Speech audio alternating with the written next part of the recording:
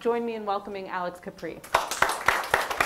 It's a real pleasure uh, to, uh, to be able to kick this off and to start uh, discussing the topic that, that I'm going to bring out here, and that is the perfect storm.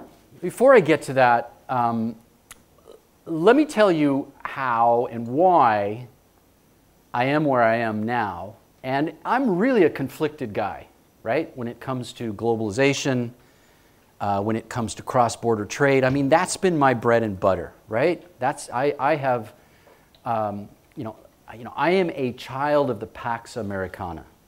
My dad was a career U.S. diplomat. I grew up in nine different countries, moved every couple of years. I grew up an internationalist, right? And I grew up steeped in the the belief of, of you know, the, the virtues and the benefits of global trade. My grandparents on my mother's side were three generation shippers, a shipping company, and they had you know, business all over the place. So I am a believer in international trade. I'm a believer in cross border commerce. Uh, that was what I studied in college.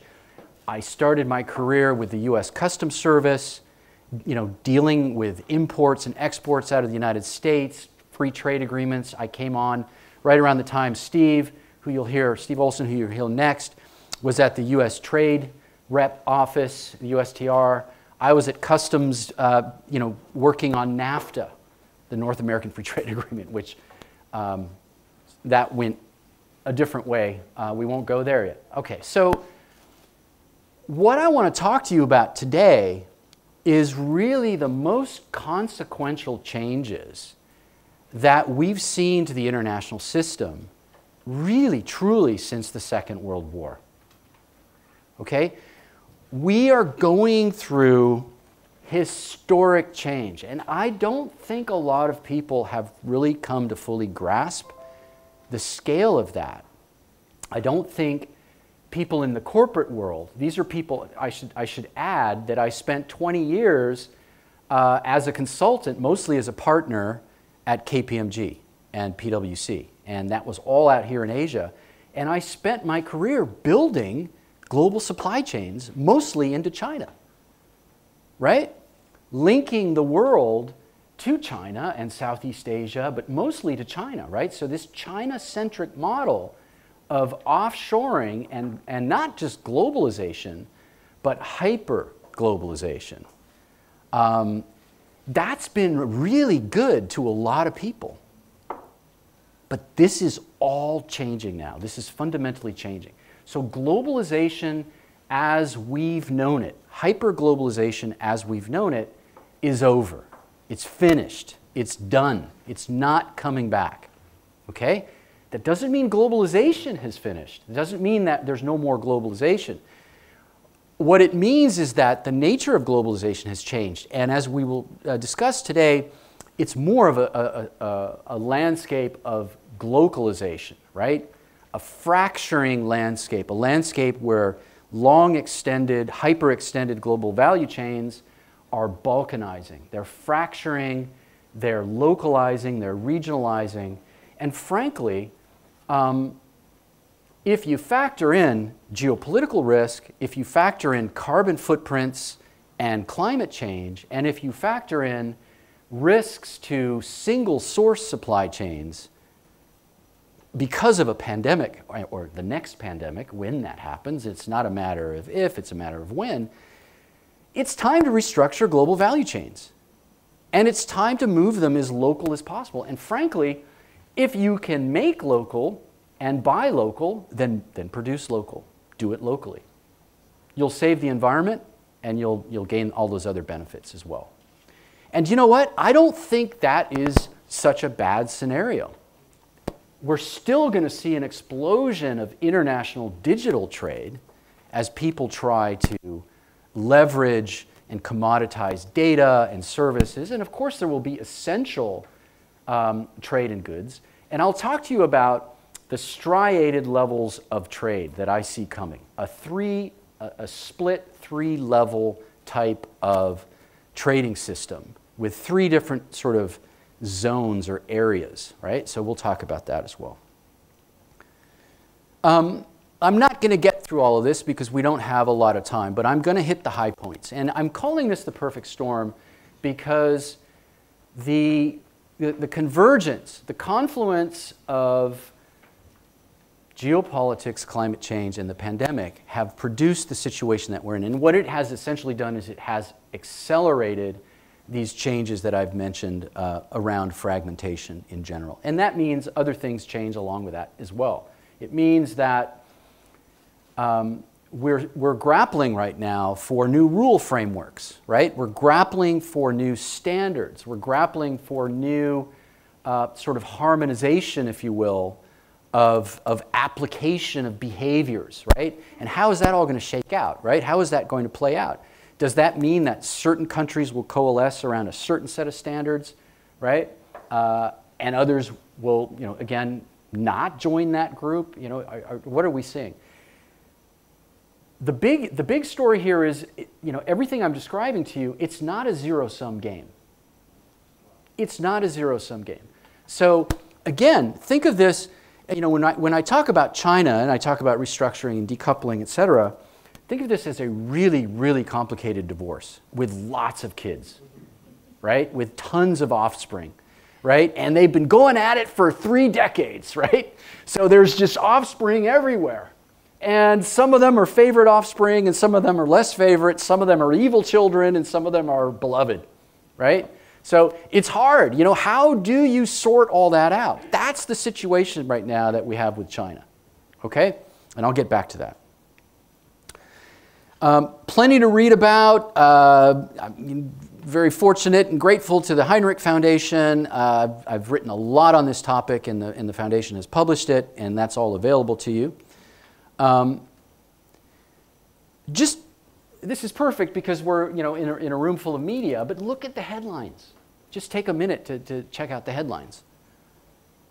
China free supply chains. I'm going to talk a lot about um, semiconductors today, uh, sort of a you know, case in point, uh, because uh, semiconductors are really essentially a public good, right? You have energy, you have food, and now you have semiconductors, right? You simply can't live without any of those in a modern, in a modern world.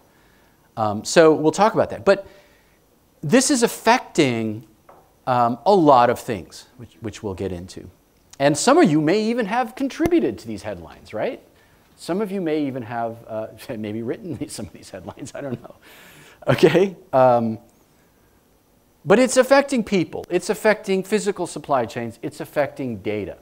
It's affecting the platform economy. Um, it's affecting, and this is what we haven't heard a lot about, and this is an area that I think is really, really ripe for upheaval, and that's global financial markets. Global financial markets in an era of sanctions, global financial markets, in an era of the weaponization of currencies such as the US dollar. Um, I mean, if you were China, wouldn't you want to develop your own currency so that every time the Americans get mad at you, they can't weaponize the US dollar? Well, that's exactly what they're doing, right? They're looking to, they're speeding ahead and they're looking to roll out the central bank backed digital renminbi. Now, that opens up another can of worms around you know, data and data privacy and again, balkanization around standards when it comes to data and money. So I think the financial sector is really the next sector to be shaken up, and I think Wall Street's about ready to have a big branch drop on top of them as well. Seriously. Uh, and I'll talk about the paradoxes, okay? In fact, I think I, okay, that's the perfect storm. Okay, I even changed the title of this slide. I used to just call it the paradigm shift and talk about the paradigm shift. Now I'm calling it the paradigm shift and the paradox because the paradigm shift is producing paradoxes everywhere, right? That's that 30 year marriage, that messy, you know, fruitful, productive marriage. It's full of paradoxes now, all right? economically, and I'm starting to really feast off of this. I'm really starting to enjoy this, uh, especially with a lot of my old academic colleagues. And that is, there is a debate, there's a raging debate right now between the liberal classical economists, right? And the dogma is no government involvement, let the markets rule. You know, capital is most efficient when markets push it and allocate it into its most efficient, productive state. We've seen 30 years of that. You look at su uh, supply chains in automotive, in pharmaceutical, in even agriculture, right? We've got massive industrialized agriculture with agritech, right, and agrochemical companies and monocrops. And you know what? It evolved that way because it's the most transactionally efficient. Transactional costs are low when economies of scale are big, right? And as we go through this so called third unbundling that Richard Baldwin talks about, where the cost of communication drops, the cost of logistics drops, uh, AI is more powerful, connectivity is more powerful. It makes total sense to have these massive supply chains. And the name of the game is offshoring. Offshore, offshore, offshore. I can remember 15 years ago, 10 years ago, sitting in uh, corporate boardrooms and the topic of, okay, what's our growth strategy for next year? What's our growth strategy? I kid you not. One word. Anybody? One word. Huh? Offshore, that's good. China. Seriously, what's our growth strategy for next year? China. Done. Seriously. How do you go, how do you change that culture? We've had 30 years of this. We've had 30 years of economies of scale, right? Manufacturing base, okay, we moved up the value chain, and now we've moved from cheap, you know, stuff to really sophisticated stuff that's getting made in China because, because basically multinationals have made it so. Right? They've shifted everything there, and it's taken 30 years, and we've seen the largest, swiftest transfer of wealth in human history. And that's technology, right? Technology enabled that. Technology lowered barriers it was very inexpensive. You could do all that stuff at scale, and of course, AI and connectivity. Computer power, connectivity. Computer power, connectivity, connectivity, and so on and so forth. So laissez-faire, laissez-faire saw the rise of a new superpower. But it wasn't, uh, it wasn't adhering to the same rules and the same standards. It was a state-centric, um, mercantilist country. And it essentially has upended the international system. And of course, with the, with the geopolitics involved, we're now witnessing this whole scenario of backlash and restructuring and so forth. So the laissez-faire camp is now confronted with a very pervasive managed trade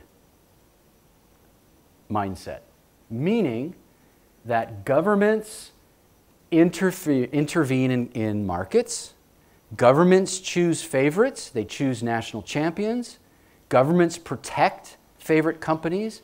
Governments promote national mercantilist policies, uh, which we'll talk about. Um, governments protect markets, they close off markets. They do all of this, and a focus has been on technology. Hence the term that I've been using a lot, and that's techno nationalism. So laissez-faire has moved to a new kind of nationalism. Um, and of course, you've been hearing a lot with the Ukraine uh, war about food security and about energy security. And that was the, actually the uh, title of my last paper here was about food security. Um, the other thing that's changed in this paradigm, in this paradigm shift, and again, this is, I would argue, and I don't know, if, I don't know how Steve feels about this, but I, uh, uh, Steve's got wonderful, wonderful insights, and I'm sure you've been reading his stuff. But I would argue the last 70 years of the international system have been a historic anomaly. I think if you go back, let's go all the way back to the Dutch East Indies Company. Let's go back, what is it, three, four, 500 years, whatever. My dates are not good. Um, it's been a long time. How many years has it been? How many decades has it been? Uh, centuries, rather. Um, there's been a feedback loop, right? There has been a constant feedback loop that involves um, economic, economic power, right? Economic wealth linked to national security or military prowess, which is, of course, linked to technology, which then forms this ever evolving ever present feedback loop. It just goes round and round, okay? Now, if we go back to the Second World War and the Bretton Woods system and the, the post World War II era, you had a unique situation where the United States essentially emerged as the chief architect, you know, the United States along with its allies, the, the UK and, and many of the countries that, that are the G7 today, eventually the G7. Um, they essentially built a system where, interestingly, security institutions were, were separate from economic institutions. We had the World Bank, right? We had the International Monetary Fund. We had these multilateral development banks. And then when it came to security, we had completely separate institutions like NATO, right? You didn't see them intertwining. But now, if you read NATO's mission statement, what, is, what are they doing? You have a security organization that is completely rewriting what it's doing. It's getting into the business of AI. It's getting into the business of cybersecurity. It's getting into the business of linking, you know, it's getting into the business of R&D and linking developments of new technologies um, to security. So that, that bifurcation that we used to see is no longer happening. Now that is more of a, a mercantilist. You know, if you then factor in all of the if you factor in all of the other economic activity uh, that is emerging, which I'll get into shortly, that is a paradigm shift. That's a major paradigm shift. Okay? Um, I think the other, the other thing to, to, uh, to take away from this is in a laissez faire system, large multinationals pretty much had the run of things. They could pretty much do stuff relatively uninterrupted. Uh, okay, they would, you know, they'd get shaken down in sort of antitrust uh, uh, measures occasionally. Um, but, you know, nobody's really going to tell Coca-Cola how to run their business around the world. And nobody's going to tell, nobody's really told Intel um, or Qualcomm until recently where they can move their business and who they can sell their stuff to. Uh, but that's all changed now. So, what we see in terms of this paradox is there is a new tension that has emerged between state and non state actors that is going to play out. And that's something that you should be covering and paying very close attention to going forward because now we have a situation where state actors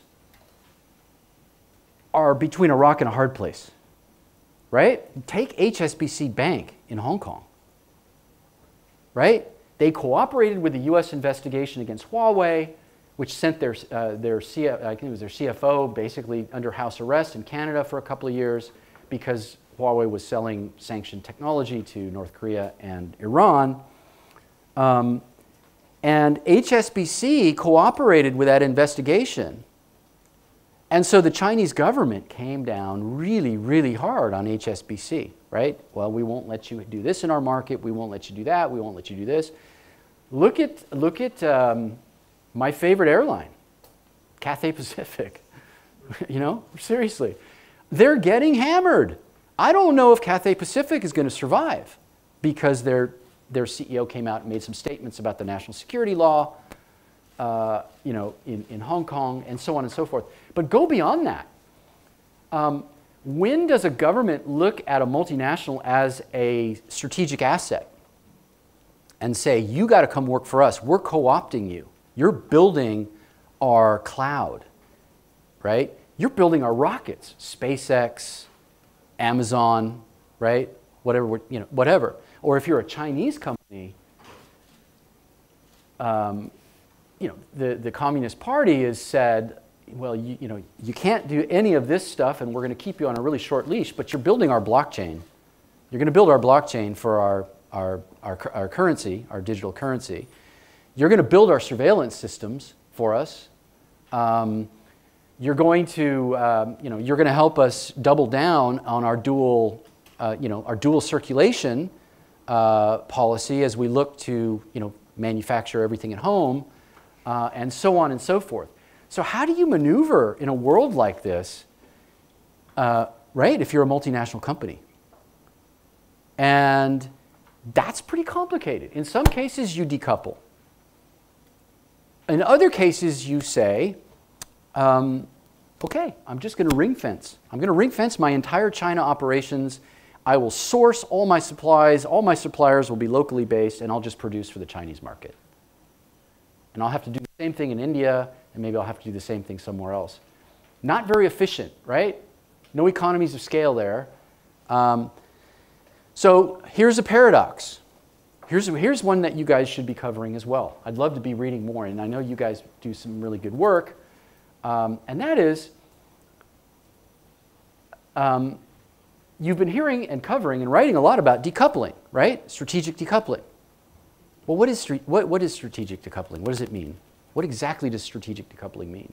It means that the word strategic is very important, right?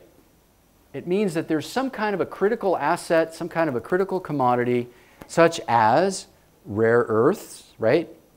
Critical minerals, pharmaceuticals. Now we're, we're talking lithium batteries, of, of course, semiconductors, right? Um, anything else? What else? Food, of course, and of course, energy, right? Food and energy are two very, very critical supply chains that, that, that require strategic attention and strategic care. Okay.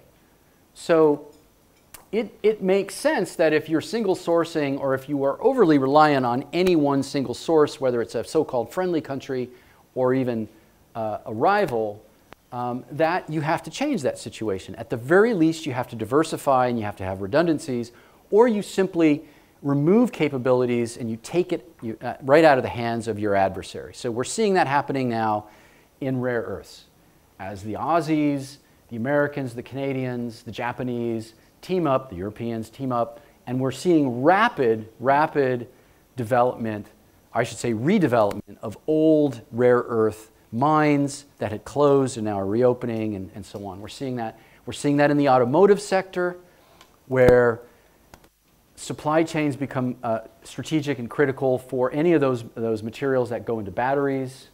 Uh, we're seeing that restructuring. So the whole EV sector is balkanizing and fragmenting. And that's actually spilling over into clean tech as well.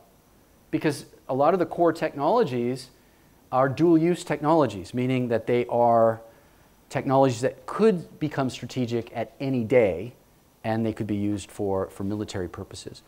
Um, okay, so that decoupling is happening strategically. So that's the first level. All right, I, meant, I mentioned earlier that there were three, oh my gosh, we're moving quickly. There were three levels of supply chain that were, that were, um, that were basically striating, right? The first is that strategic level of all those commodities that I mentioned. If it's strategic, then we see, and, and we're going to continue to see, and forget about whether it's economically efficient or not. I was on a, a panel earlier this week with some economists, and I, one of these economists kept saying, "Oh, it's never going to happen because it's not it's not economically efficient."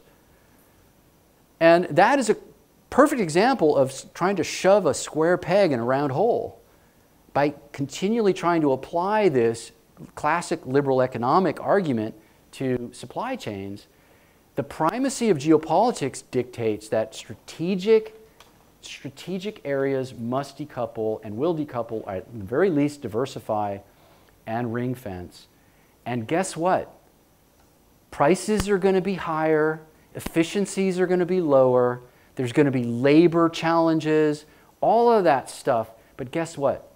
Uh, you know, imagine if Taiwan had said that when they decided as an agrarian economy to transition to become what is now the hotbed of semiconductor manufacturing in the world. Seriously, Taiwan's economy in the 1970s was agriculturally based.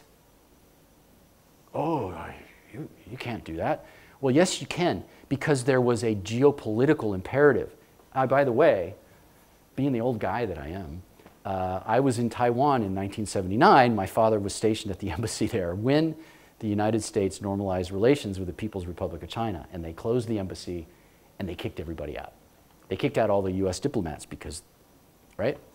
And from that point onward, the people in Taiwan and policymakers in the United States said, okay, how do we, how do we secure Taiwan? How do we prevent Taiwan from being taken over forcibly? We industrialize it. We, we invest in it. We, and, and that's what we saw. We, and so the security and the geopolitical imperative led to a massive transformation of Taiwan's economy. And if you had said, oh, well, you know, it's not economically efficient, of course it isn't, but there's a higher imperative here. Okay? So, that's what we're going to see in that first band, in that first level, if you will, of, uh, of the global supply chain. The next level is actually a much, much wider level, okay? And it's a gray zone. And in that gray zone, we have a lot of what I would call dual use technologies, right? Which is pretty much any kind of technology today, uh, that could potentially become subject to sanctions and export controls depending on what happens in the world geopolitically. So you can have day to day trading, you can have large volumes of, of commerce and, and cross border exchange happening. Um, and it's fairly innocuous. Nobody really cares, right? It's, everything's good? Okay, I gotta move on. Okay. All right, I think we'll, I'll stop at slide 10. Um, uh, okay, um, yeah, so, so that's pretty much, that, that's kind of a very, very, very high overview. Um, let me just spend two minutes flying through the rest of this, see if I want to stop on anything. So I think I've kind of defined techno-nationalism, and that is essentially where uh, um, you know, governments look at their, the, the prowess, their capabilities from a, a, technological level, their innovation level, uh, and they link that, uh, you know, their own homegrown companies, they link that to national security and economic security, and increasingly to social stability when we look at things like social media and e-commerce and social commerce and that type of thing. And this sort of hybrid warfare climate that we're in around, um, around that. So I, I, think this is perfect. We'll just say, you know, we'll stop it here um, and we'll do data and other stuff another time. Um, the, um, there really are, I, I see sort of a, a phased approach to techno-nationalism. The first is the weaponization of supply chains, which we've seen, right? You cut off the supply of a critical, vital technology or component by imposing sanctions. The next thing you do is you, you reshore, you ring fence, and you, recut, and, and, and you reshuffle, and you friend shore. Uh, you know, you look for friendly confines. Uh, and there's some very interesting sort of divisions taking place in the G20 countries right now with the BRICS, you know, involving the BRICS and the G7 countries and so forth. And there's a lot of sort of dynamics at play there. Um, th then there's the, then the, the, the innovation race. It's I want to make my horse run faster than yours. Uh, and I, you know, I've already taken care of making your horse run more slowly, right, in the first, in the first instance. But now I want to make my horse run faster. And I think, I think that really is a very, very important emphasis. We're going to see more and more emphasis on that uh, as, as time goes on. And then there's the techno diplomacy aspect of it. That's where you're looking for new friends, you're looking for new partners, you're looking for new places to really get a, a, a jump start, right? To really jump start your innovation mercantilism and to really sort of secure your, your supply chain. So you're looking for, for new friends. So this sort of, these are all major areas that you guys should be covering, right? You should be looking at the world in this context, in my opinion. Right? Okay. Okay, that's it. I'll stop there. Sorry, I had 60 slides. Uh, anyway, okay. this whole phase of you know being local, make local, how long is this going to last? Well, it's not a phase. It's not a phase. It's not. We're not going back. We're not going back. And the reason we're not going to go back is because it's going to be so much more efficient.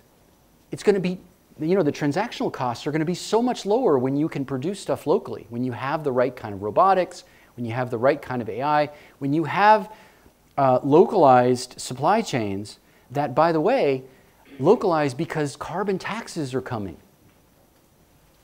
Right? So there's gonna, it's going to be more and more expensive to ship something across a border, especially if you're buying it from India, for example. Right? If you're buying it from somewhere else, there will be other hindrances, there will be other obstacles to, to make it more expensive uh, to ship all the way around the world. So carbon footprints will be another, uh, another instance. So what the world is, uh, the, we're really grappling right now with coming up with new institutions and new frameworks around digital trade, right? Digital trade, you know, and we saw the explosion of it uh, because of the pandemic. Um, digital trade is going to produce more and more wealth. But the paradox is that as digital trade is exploding, so are localization rules, data localization, right? Data security, data transfer rules, they're on the rise. So, so that's becoming more, it's making it more and more difficult. So that's the paradox.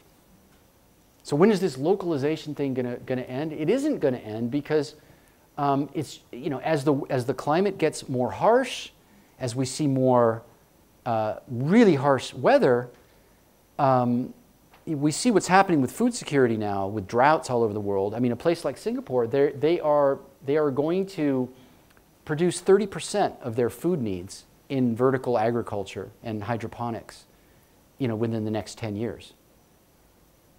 So circular economies, all of that sort of thing, it's just to, it's just to be more effective, more efficient, more profitable. It's going to drive a whole new ecosystem of tech startups and everything.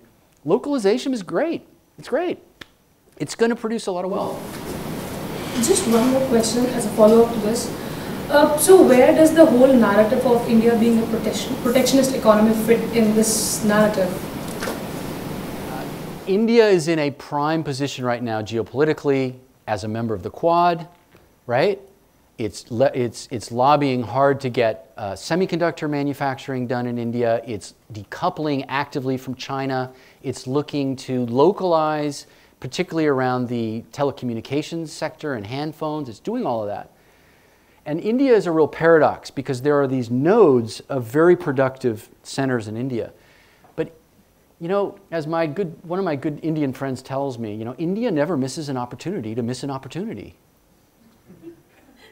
because of its extensive red tape and bureaucracy and corruption, and it's got serious environmental problems. And yet, you have uh, Taiwanese companies, Apple, Korean companies, moving big, big operations out there to hedge against China coupling.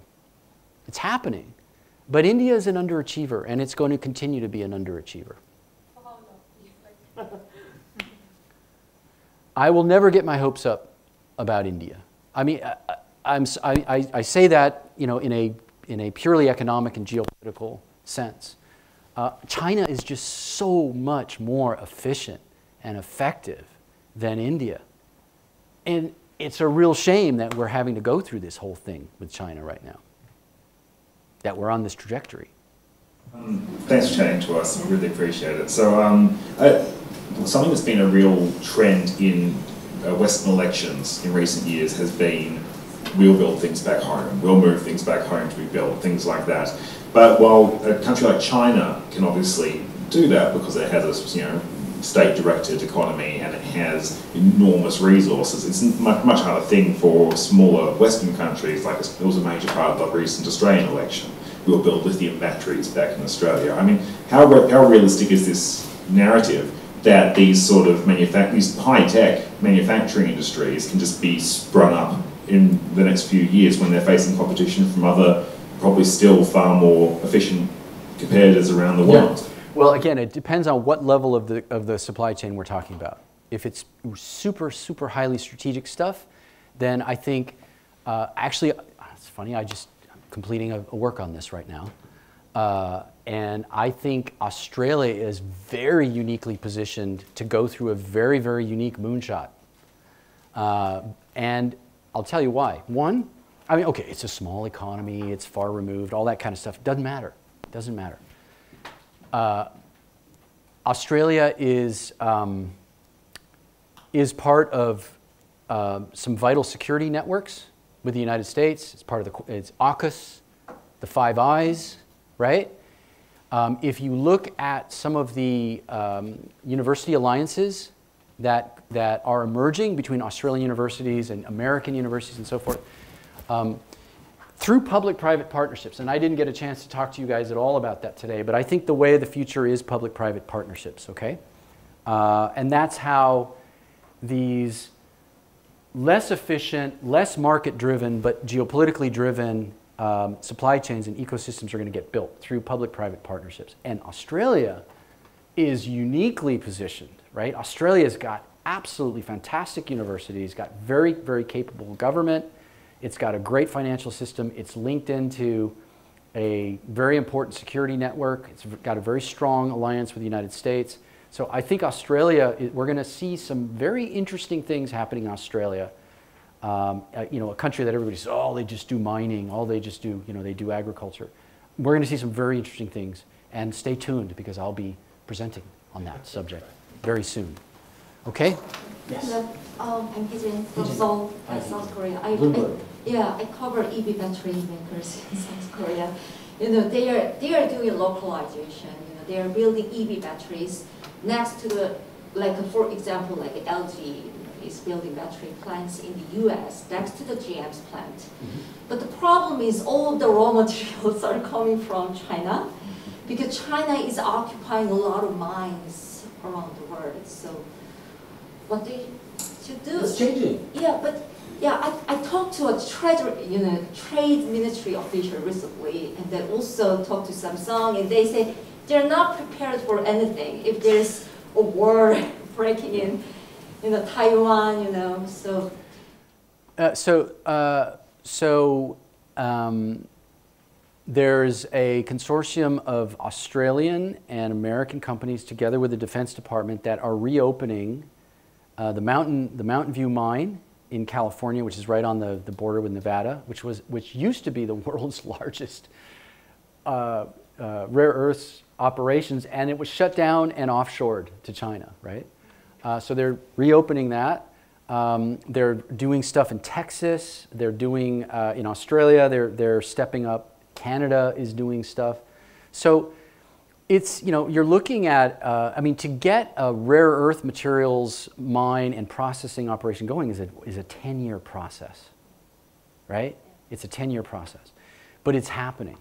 The Japanese are um, sitting on top of perhaps one of the, the largest rare earth uh, deposits in the Issa, Isagawara Islands, or what are they, right? Did I say that correctly? Nobody's heard of it. Uh, it's a thousand kilometers. It's actually part of uh, Tokyo. It's part of the Tokyo municipality. It's these islands out in the middle of the Pacific Ocean. Anyways, been wanting to go there for years. Better get there before they start mining, right, Steve? anyway, all right. So, so yeah. So I mean, all this stuff is happening, right? So it, it's going on. Um, it's just it, it, it's a process. Remember, remember, most of us come from a culture. I come from a culture where can't see beyond the next quarterly statement. Right? I mean, that's, that's you know, Western globalization is like, what's our next quarter? Growth at any cost. Growth at any cost. Right? So, of course, it, whereas, I mean, with, with, companies like Samsung and, and you know, the Korean, uh, sort of the Korean system, I would think that they'd be looking a little further ahead. And Korea uh, has announced massive, massive infusions of, of money and capital to turn uh, South Korea into a major, major technology hotbed, particularly with semiconductors. So that's all happening, right? Hi. Um, are you calling for the demise of globalization? Is that no. what you're doing? no. Question. Economies of scale dictate that, obviously, you know, as you said, these mines don't appear overnight, and certain places will never be able to produce these mines or these raw materials, etc.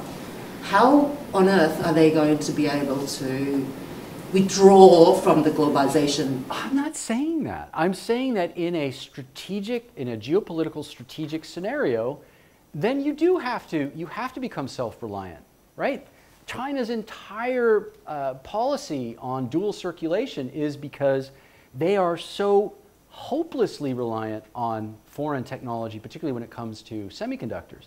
They couldn't run their economy for a day if the US and its allies decided that they were going to just shut off the spigot, right? So they don't have a choice. Now, while they're still able to import and still benefit from globalization, of course, they're going to continue to do that, right?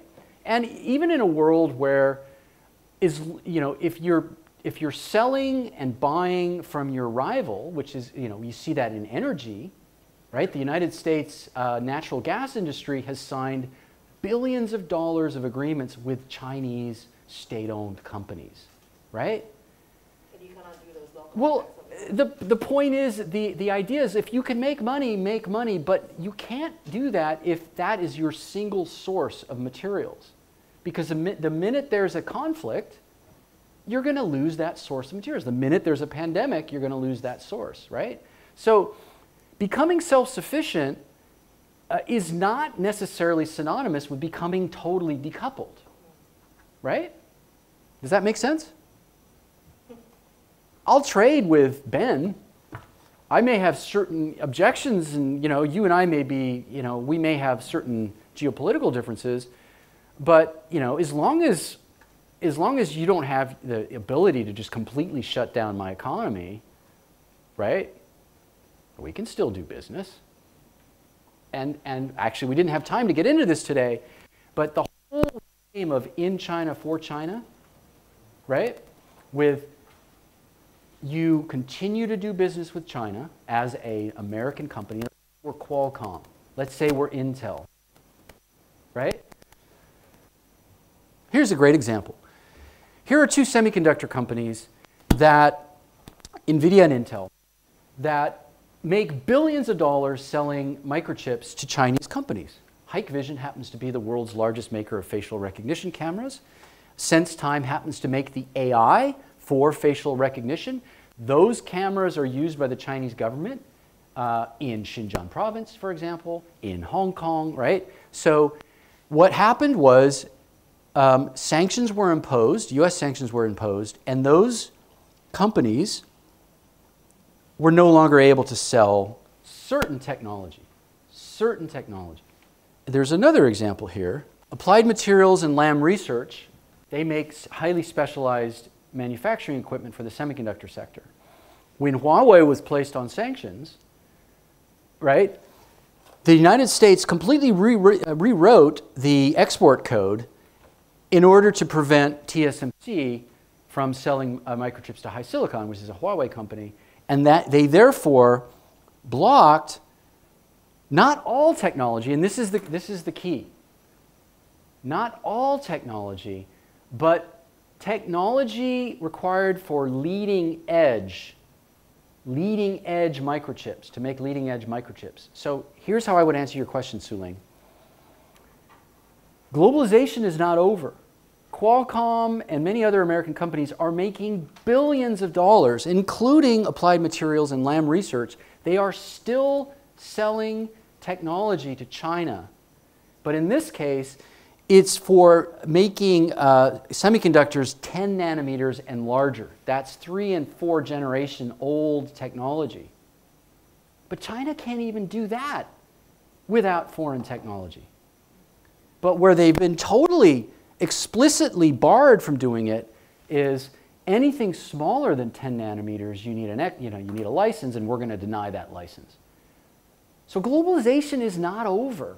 Globalization is striated and it is fragmented. That's what I'm trying to say. Okay, now, here's a story you should be watching, ladies and gentlemen, because there is now discussion going on in the United States to actually bar old technology to companies like SMIC, SMIC, and others, right?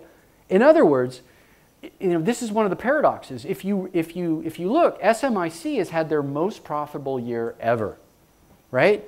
If you look at the numbers, investment is surging. Money is pouring into China. Well, then how can there be a decoupling? Is that a myth? Why is this happening? Well, there's a paradox. People are insulating themselves and they're getting ready to, they're, they're, they're girding themselves for an in China, for China market, right? Meaning that those trade supply lines are, are fragmenting and they're cutting, okay? So they're setting up, they're investing in new partnerships so that they have an insulated in China, for China thing. The other is, there's a lot of people freaking out thinking that even this older technology is going to be blocked, it's going to be barred. It's kind of like what Huawei did when they stockpiled semiconductors because they knew that they were going to be put on a, a, sanctions list. So, and then you know when they when they burned through that pile of semiconductors, guess what? Now they can't even uh, produce a, a phone that, that has 5G in it because they don't have access to the technology. So Huawei can't even service their old business model. They can't service their old 5G contracts all over the world. They can't get new ones, and they can't even service the old ones. But they're not out of business. They're migrating into, into, into niches. They're migrating into the automotive sector. They're partnering with EV companies. They're doing all that sort of thing. Um, so globalization has been uh, greatly disrupted, but globalization is not as a whole finished. And it, you know, there's a lot of stuff that will continue to be exported uh, unimpeded. Well, it has to be because of the economies of scale across the world. Exactly, exactly. Otherwise, you have riots because prices be way too high, which is what we're. Right, right. And unless governments can step in and alleviate those inefficiencies through subsidies, that's the only way that's going to happen. And that is exactly what's happening uh, in uh, the strategic sectors. Um, I'm curious, how would you assess uh, you know, China's response to this decoupling trend? Has the government taken measures to kind of slow down this process? Because uh, it sounds like, you know, if, if decoupling, whether on a strategic level or not, can be quite detrimental to the Chinese economy in the long run. Has the government, you know, what can China do? Who started this whole decoupling thing in the, in the, in the first place? It was Chinese, it was the Chinese government. China has been actively decoupling from the day they opened their borders, right? They decoupled actively by saying, okay, no internet companies, no foreign internet companies, no foreign telecommunication companies, right? No, um, for the most part, no entertainment companies, right? They, they've had parts of their economy closed off, sealed off. That, that's, been, that's been an active part of their policy. So I think what's surprising to me is that, um, that this model, this, this offshoring model lasted as long as it did before we started seeing these things happening. So um, I mean, what can China do? I mean, zero COVID? Not the most intelligent, uh, you know, okay. I, don't think zero COVID is doing much good to the Chinese economy, number one. It's not doing uh, much good for investor confidence. Um, the other thing is uh, the crackdown on the tech sector in China has been merciless. And, um, you know, so they, they just concluded the investigation on Didi, the ride sharing app. They ended up paying a billion dollar plus uh, fine for endangering national security with the data of customers, Chinese customers. We didn't have a chance to talk about that. That's a big deal, right? Data wars, data ge geopolitics. Um,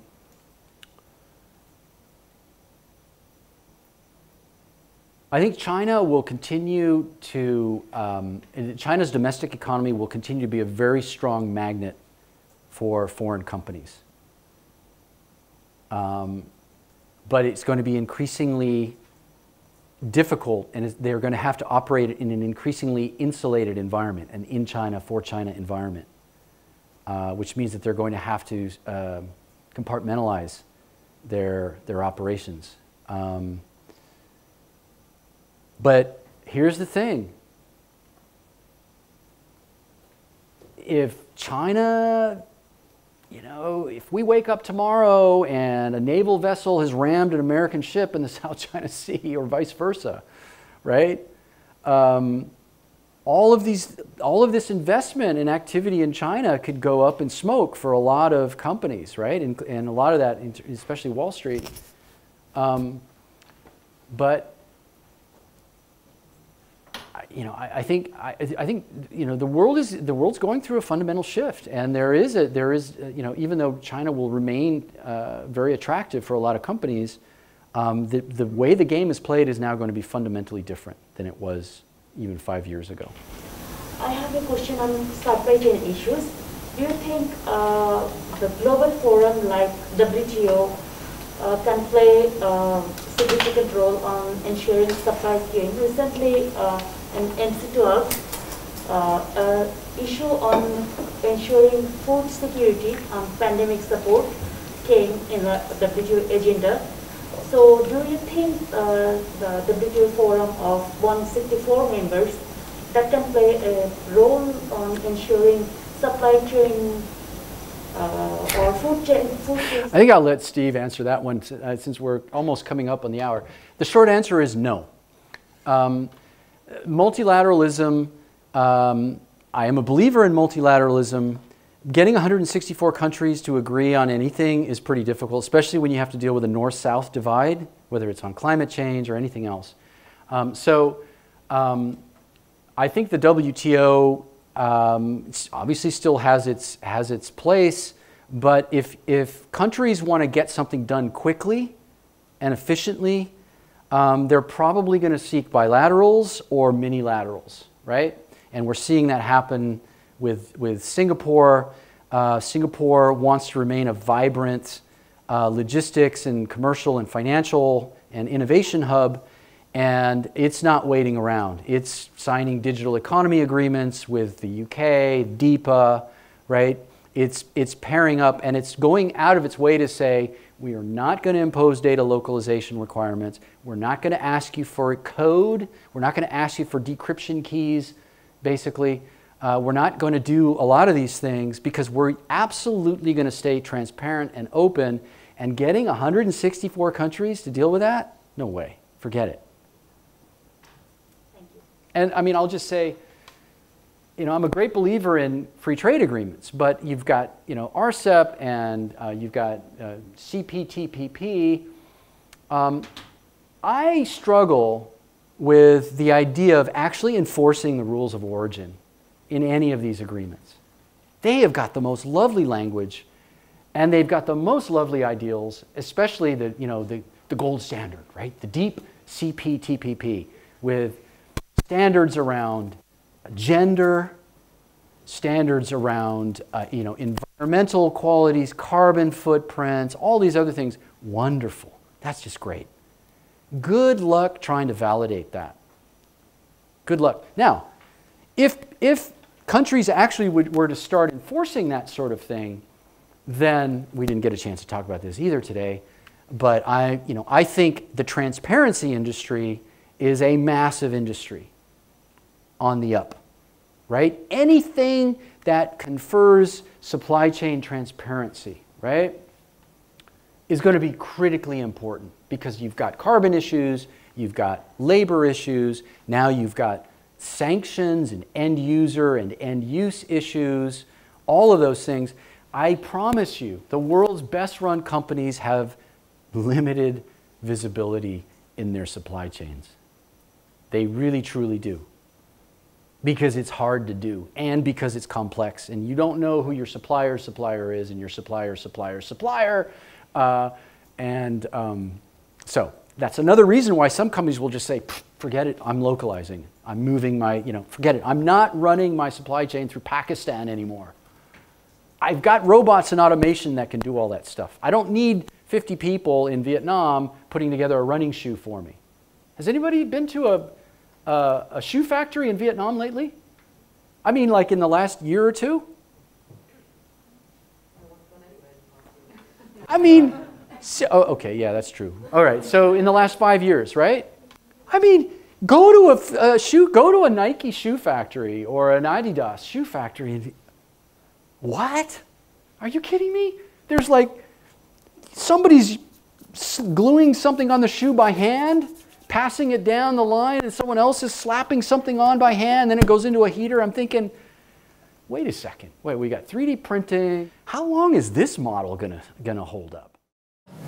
So I want to know about uh, how big is or will be the contribution of climate change or new emergency like pandemic to change uh, countries like especially for US strategy for cross-border I mean commerce or trade uh, because like uh, in before the COVID-19 uh, US sanctioned or blacklisted uh, top uh, Malaysian uh, like globe manufacturing company it's called Top Glove so after the COVID-19 pandemic, I mean, they lifted the ban, I mean, the ban for- Yeah.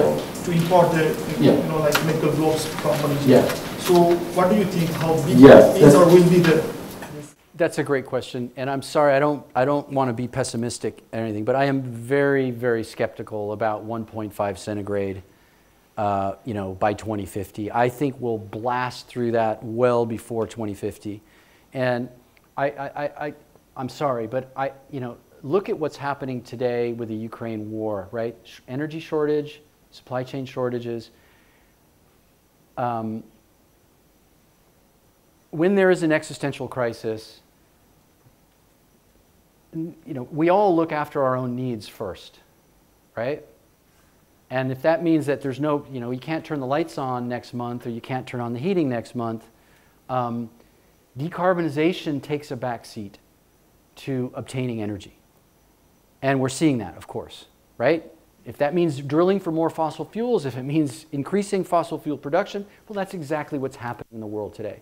So it shouldn't come as a surprise then that if during COVID, something that was denied for maybe a political reason, if people are hungry or if they're in need, then that, that gets waived. And that's what we've seen with decarbonization. Now, I'm a great believer in decarbonization, and I think it's actually, you know, I think there are great economic incentives for decarbonization. But again, if you leave it to the markets, it's not going to happen.